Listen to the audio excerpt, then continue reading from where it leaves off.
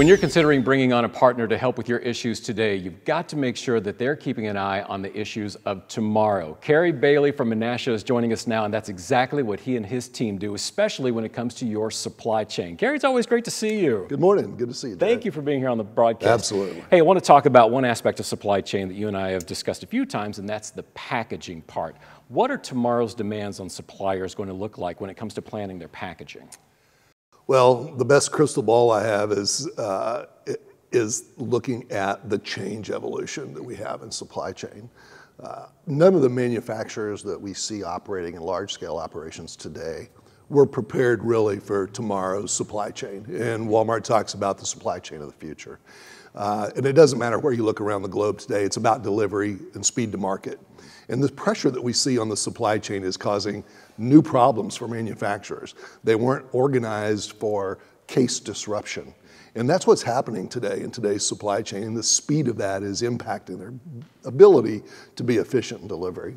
And of course, as packaging continues to evolve, promotion really ties right into that. So when you look down the pike of supply chain in the future, these new demands that are going to be on the suppliers, how does that promotional piece also have to evolve? Well, I think what we're seeing today is the element of safety, the survival rate of a package, the survival rate of a display, how we put goods together in the packaging element that can modularly support promotion. Okay, so the pressure in margin, the pressure in performance within the supply chain has really squeezed all of the optimal okay, components out of the system. And so what we see today is how do things fit together? How does my primary package work with my online delivery element? How does my primary package work with display? How does my package work with case disruption, pick and pack operations? So we're taking a deeper look into the supply chain and the life of that package deeper than we've ever had before. So packaging and promotion, these seem like natural solutions that Menasha comes in and delivers to a supplier. As you're sitting down with your clients, what are some of the other things that you're looking futuristically at to kind of keep them aware of what's coming down the pike? I think when you look at Menasha, what we're finding is our role to those suppliers and the resources they need to support a better supply chain. Because as I mentioned before, the disruption to their current manufacturing process and case operation is creating new demands. And as we step up kind of as a supplier for hire, uh, our role in the what we do business is evolving more dramatically. So our ability to come in and take some of that disruption out of their streamlined operations and handle that disruption for them is becoming a key component. So you're finding as an organization what we're doing is we're helping in those pick and pack operations. We're helping in the better acquisition of resources of support, online delivery. We're designing for that delivery, okay? And we're creating packaging that's efficient and functional and can be promoted more easily for them outside of their regular line operations.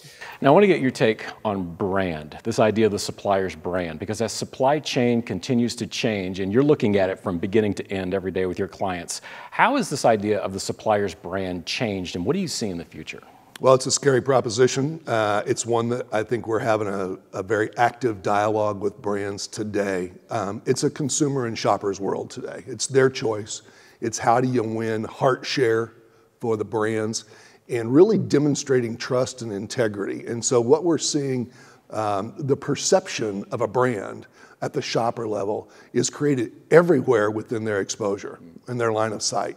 So, how they see that package on shelf, how it's presented, how that package is delivered to them, whether they're in a pickup mode or whether it's door to door delivery. So, how it's received, all of those things figure into that brand integrity component. And so we're talking more to our brand partners about what does the brand experience look like for the shopper? And it has a much wider lens to it today than it ever has before. And so you're seeing things like double-sided print packaging that when the shopper receives that item at the door, they have a brand experience that's more volatile, more experiential, and they get to feel the brand in that package when they receive it at their home. That's great information. Kerry, thank you so much for joining us on the broadcast today. Great to be here, Jared. Thanks again.